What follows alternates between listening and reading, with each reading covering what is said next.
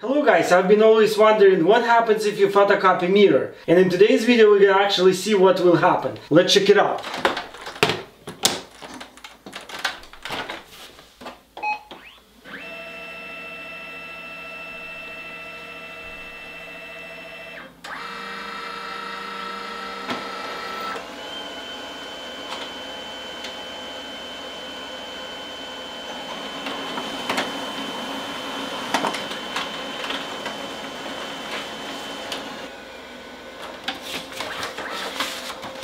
Check this out. Where a mirror was just a black spot. That's pretty cool. Well, for those who are wondering what happens, there you go.